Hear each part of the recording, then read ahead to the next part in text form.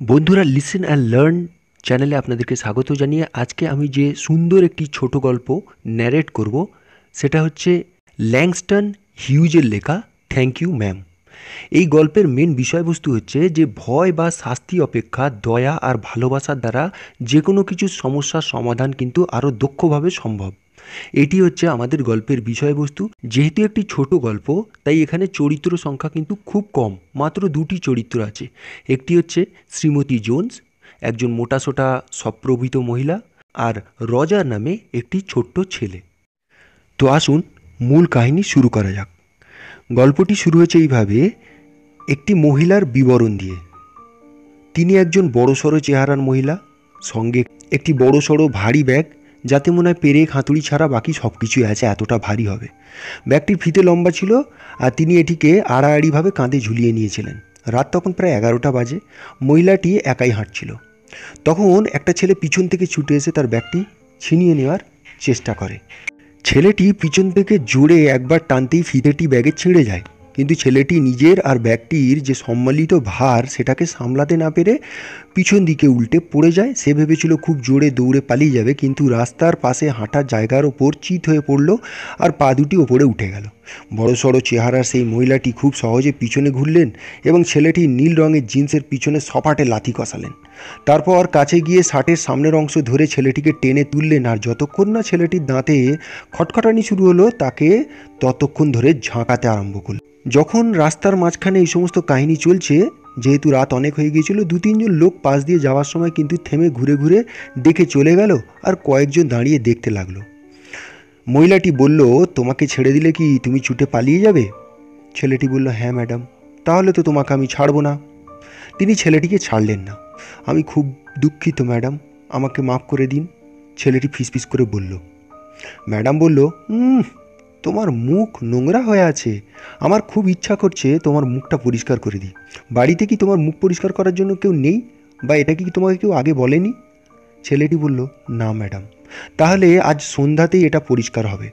এই কথা বলে সেই বিশাল চেহারার মহিলাটি ভীত সন্ত্রস্ত ছেলেটিকে তার পিছন পিছন রাস্তা দিয়ে টানতে টানতে নিয়ে চলে গেল। ছেলেটিকে দেখে মনে হচ্ছিল তার বয়স হবে চোদ্দ কি পনেরো। রোগা, উইলো গাছের মতো বন্য, আর তার পরনে টেনিস জুতো আর নীল জিন্স। মহিলাটি জিজ্ঞেস করল, তোমার উচিত ছিল আমার ছেলে হওয়া। আমি তোমাকে কোনটা সঠিক আর কোনটা ভুল শিখিয়ে দিতাম। এখন অন্তত আমি যা করতে পারি তা হলো তোমার মুখটা পরিষ্কার করে দেওয়া। তোমার কি খিদে পেয়েছে? না, ম্যাডাম। হিঁচড়ে নিয়ে যাওয়া ছেলেটি বলল, আমি শুধু চাই আপনি আমাকে ছেড়ে দিন। আমি যখন ওই মোড়টা দিয়ে বাঁক নিলাম, আমি কি তোমায় কষ্ট দিয়েছিলাম? তাহলে তুমি শুধু শুধু আমার ব্যাগটা ধরে টানলে কেন? মহিলাটি ছেলেটিকে প্রশ্ন করল, কিন্তু তুমি তাও আমার ওপর এসে পড়েছো? তাই তোমার যদি মনে হয়ে থাকে যে এই সংযোগ বেশিক্ষণের নয়, তোমাকে আবার নতুন করে ভাবতে হবে। একবার যখন তুমি আমার পাল্লায় পড়েছো বাছাধন শ্রীমতী লুয়েলা বেটস ওয়াশিংটন জোন্সকে তোমাকে মনে রাখতে হবে। ছেলেটির মুখ থেকে ঘাম গড়িয়ে যেতে লাগল। সে ওই মহিলার কাছ থেকে মুক্ত হওয়ার জন্য ছটফট করতে লাগল। মিসেস জোন দাঁড়িয়ে পড়লেন। এক ঝটকায় তাকে তার সামনে টেনে তার ঘাড় ধরে আবার রাস্তা দিয়ে টেনে টেনে নিয়ে যেতে লাগলেন। শ্রীমতী জোন্স বাড়ির দরজার সামনে পৌঁছলেন, তখন ছেলেটিকে তিনি হিঁচড়ে একটি হলঘরের মধ্যে দিয়ে বাড়ির পিছন দিকে অবস্থিত একটি বড় সজ্জিত ঘরে নিয়ে গেলেন, যার একপাশে রান্নার বন্দোবস্ত।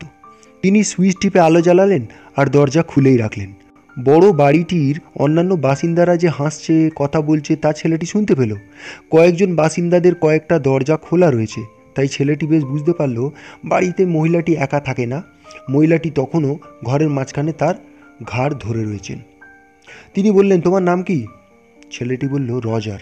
তাহলে রজার, তুমি ওই মুখ ধোয়ার জায়গাটিতে যাও আর মুখটি ধুয়ে নাও। মহিলাটি বলল ছেলেটিকে।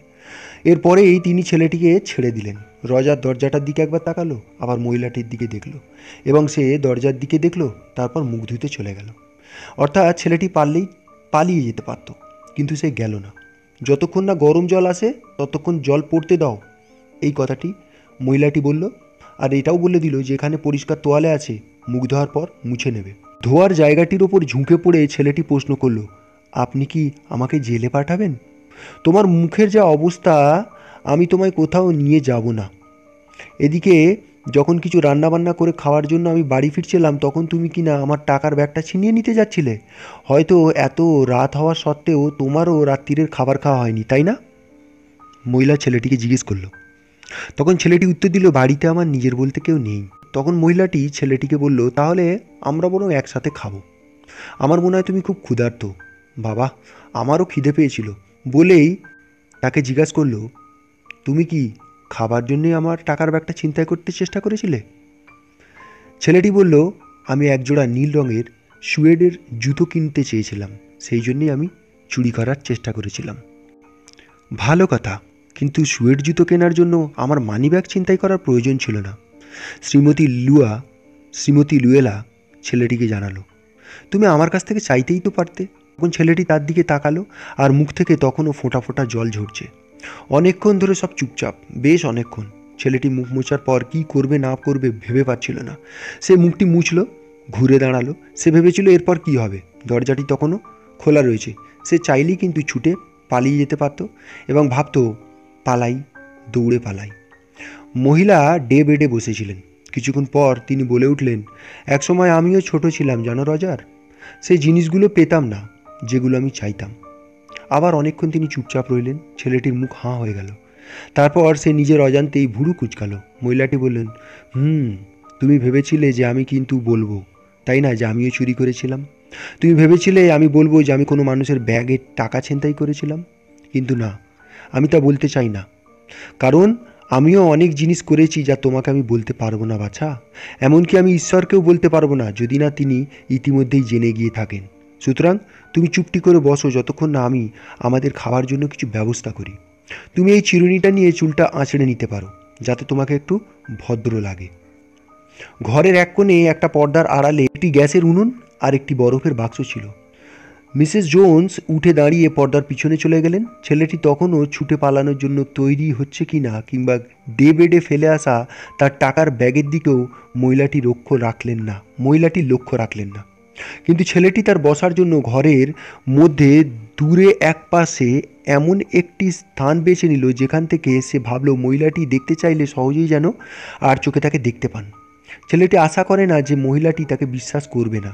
এবং কেউ তাকে অবিশ্বাস করুক এটা সে আর চায় না। আপনি কি কাউকে দোকানে পাঠাতে চান? ছেলেটি প্রশ্ন করল। যদি দুধ বা অন্য কিছুর জন্য প্রয়োজন হয়, আমাকে জানাবেন। মহিলা জানালো, আমার মনে হয় না তার কোনো কিছু দরকার আছে। যদি না তুমি নিজের জন্য মিষ্টি দুধ চাও, আমি ওই ক্যানের দুধ থেকেই কোকো তৈরি করে দিতে যাচ্ছিলাম তোমাকে। ছেলেটি বলল, সেটাই ভালো হবে। বরফের বাক্সে থাকা কিছু লিমাবিন আর শুয়োরের মাংস নিয়ে তিনি গরম করলেন, কোকো তৈরি করলেন আর তারপর টেবিলে সাজালেন। ছেলেটি কোথায় থাকে বা তার আত্মপরিচয়ের কথা বা অন্য কিছু যা তাকে অস্বস্তিতে ফেলতে পারে, এমন কোনো কিছুই কিন্তু মহিলাটি ছেলেটিকে জিজ্ঞেস করলেন না। বরং যখন তারা খাচ্ছিলেন, মহিলাটি তাকে বলতে থাকলেন, একটি হোটেলের প্রসাধানগারে তার কাজের কথা, যা অনেক রাত অবধি খোলা থাকে। কাজটা কেমন এবং কত বিভিন্ন ধরনের মহিলারা সেখানে আসে যায়, যাদের চুল সোনালি, লাল এবং স্পেনীয়দের মতো কালো। তারপর মহিলাটি তাকে তার দশ সেন্ট দামের কেক থেকে আধখানা কেটে দিলেন। এই ছেলে আর একটু খেয়ে নাও, মহিলাটি বলল। যখন তাদের খাওয়া শেষ হলো, মহিলাটি উঠে দাঁড়ালেন আর বললেন, এই যে, এই দশ ডলার নাও, আর তোমার জন্য নীল সুয়েডের জুতো কিনে নিও। এরপর আমার বা অন্য কারোর টাকার ব্যাগ ছিনতাই করার কথা ভুলেও ভেবো না। কারণ ওইভাবে শয়তানি করে কেনা জুতো পরলে তোমার পায়ে জ্বালা ধরবে এবং পাটি পুড়ে যাবে। আমার এখন বিশ্রাম নেওয়ার সময়। কিন্তু বাছা, আমি আশা করি তুমি আমার এই কথাগুলো মনে রাখবে এবং ঠিকঠাক আচরণ করবে। মহিলাটি এবার ছেলেটিকে হলঘরের মধ্যে দিয়ে সামনের দরজার কাছে নিয়ে এলো আর দরজাটি খুলে দিল আর বলল, শুভরাত্রি। এবার থেকে ভদ্র আচরণ করো বাছা। মহিলাটি বাইরের রাস্তার দিকে তাকিয়ে রইল। ছেলেটি শ্রীমতী লুয়েলা বেটস ওয়াশিংটন জোন্সকে ধন্যবাদ ম্যাডাম ছাড়া অন্য কিছু বলতে চাইল, কিন্তু সে খালি বারান্দার দিকে ফিরল এবং তারপর দরজায় দাঁড়ানো বিশাল মহিলার দিকে তাকালো।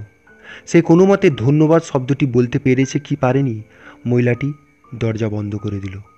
আর কখনো সে ওই মহিলাটিকে দেখতে পায়নি।